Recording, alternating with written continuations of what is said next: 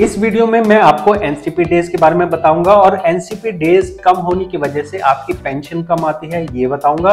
Plus ये भी बताऊँगा कि आप इससे कैसे बच सकते हैं। तो दोस्तों, यहाँ आपके सामने नज़र आ रहा है 770 दिन की छुट्टियाँ डली हैं टोटल सर्विस आपकी छह साल की है।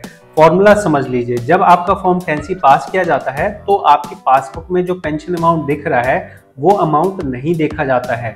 वहाँ पे देखा जाता है कि आपकी लास्ट सैलरी कितनी थी और इसके बाद देखा जाता है आपकी सर्विस कितनी थी।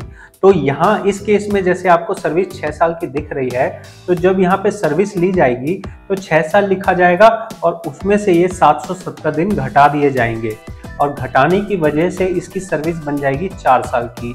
तो अब जहाँ आपको पेंशन में पैसा नज़र आ रहा है, वो छः साल की सर्विस के हिसाब से है, लेकिन जब आपका फॉर्म टेंसी पास किया जाएगा तो वहाँ आपको पैसे कम मिलेंगे और उसकी वजह है ये एनसीपी डेज़ तो एनसीपी डेज़ आप समझ गए हैं कि एनसीपी डेज़ की वजह से आपका बहुत ज़्यादा पैसों का नुकसान होता है। अब आप समझिए कि इससे आप कैसे बचाव कर सकते हैं। तो अब मैं आ गया हूँ पासबुक में और पासबुक में आप देखिए, यहाँ पे सारा मसला आपको क्लियर कट नज़र आ जाएगा। आप यहाँ देख सकते हैं, ये 2021 है और 2021 में ये इतने महीनों तक इसका ज़ीरो ज़ीरो जमा होता रहा है। तो ये जो ज़ीरो ज़ीरो जमा हो रहा है ना, यही है मेन प्रॉब्लम ये जो ज़ीरो ज़ीरो जमा हो रहा है, इसका मतलब ये बनता है कि इस एक महीने के अंदर ये तीस दिन छुट्टी पे था। अगले महीने भी ये तीस दिन पे छुट्टी था। लेकिन असलियत क्या है? असलियत ये है कि जब कोई व्यक्ति नौकरी छोड़ के चला जाता है तो उसके बाद उसका पैसा जमा नहीं होना चाहिए। उसकी पासबुक में कोई भी एंट्री आनी नहीं चाहिए। लेकिन यहाँ आप देख लीजिए कि हर महीने चलान के अंदर इसका नाम डाला जा रहा है और जिसकी वजह से इसकी एनसीपी डेज़ बढ़ गए हैं। अब अगर एनसीपी डेज़ बढ़ गए तो अब जब ये, जब भी पेंशन निकालेगा तो अगर इसकी पेंशन मान लो अस्सी हज़ार होगी तो इसको पेंशन मिलेगी चालीस हज़ार। और चालीस हज़ार रुपये का इसको नुकसान हो जाएगा।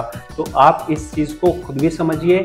आगे भी किसी का अगर काम हो तो उसे भी समझाइए कि अगर आप नौकरी छोड़ देते हैं तो आपको इस बात का ध्यान रखना है कि आपके पासबुक के अंदर ये ज़ीरो ज़ीरो एंट्री नहीं आनी चाहिए। बिल्कुल कोई एंट्री आनी नहीं चाहिए। अगर ये एंट्री नज़र आ रही है ज़ीरो की तो इसका मतलब है कि कंपनी आपकी अपसेंट लगा रही है और कंपनी के अपसेंट लगाने की वजह से आपकी छुट्टियाँ बढ़ती जा रही हैं और जब भी आप अपना पेंशन निकालोगे तो वहाँ पे आपका जितना भी पेंशन दिखा रहा है उससे काफ़ी कम आपको पेंशन मिलेगा।